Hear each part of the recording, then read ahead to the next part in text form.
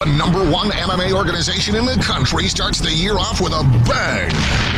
With the biggest show ever. Maximum Fighting Championship number 36, Reality Check. Live February 15th from the spectacular Shaw Conference Center in Edmonton, Canada. Two world titles and the two best heavyweights in the country. In the main event, one of the most exciting fighters in the world today. Edmonton's Mukai, the African assassin Maromo, faces in a rematch the relentless Graham Spencer to see who will be the first Canadian to ever hold the MFC World Lightweight Championship. In his first title defense for the MFC World Middleweight title, Bosnian knockout sensation Elvis the King Mutapcic versus reality show and Team Quest standout Smiling Sam Alvey.